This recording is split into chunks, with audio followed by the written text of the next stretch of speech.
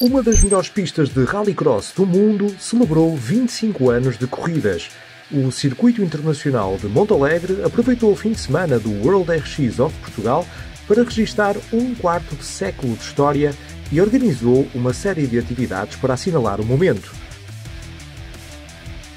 Vários dos pilotos que estiveram na primeira prova oficial em 1999 subiram ao palco do Mundial de Rallycross para serem homenageados pelo município de Montalegre e pelo Clube Automóvel de Vila Real. Oportunidade para várias das figuras do Rallycross nacional se reencontrarem e trocarem memórias sobre os primórdios das corridas em Montalegre.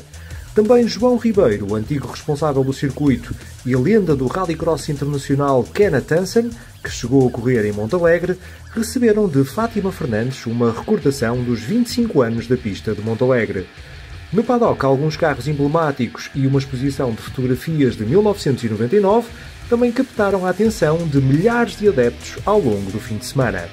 Sinto-me muito orgulhosa de, depois de 25 anos, depois deste percurso intenso em que fomos aperfeiçoando a cada prova, a cada ano, eh, e hoje afirmar-nos no panorama nacional e internacional como uma das melhores pistas do mundo onde esta logística, que é muito pesada, mas não falha em rigorosamente nada, e portanto é um orgulho, eh, em primeiro lugar, nesta vasta equipa eh, que trabalha aqui, uma vasta equipa que faz inclusivamente voluntariado, porque são tantos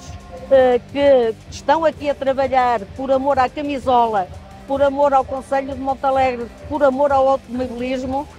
que só me resta agradecer esta generosidade, sabendo que estão aqui para os desafios futuros, para as lutas futuras. Foi em Montalegre que o seis vezes campeão mundial Johan Kristoffersen ganhou a sua primeira prova no Campeonato do Mundo e o piloto sueco é um admirador do circuito barrosão.